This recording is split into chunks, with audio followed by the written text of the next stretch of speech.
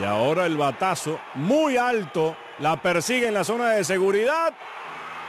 Y esa pelota tendremos que jugar con pelota nueva en el José Pérez Colmenares de Maracay porque Germín Mercedes acaba de conectar este cuadrangular enorme ante un picheo que se quedó colgado de Miguel Rodríguez y sigue la fiesta de Tigres de Aragua ante Leones del Caracas.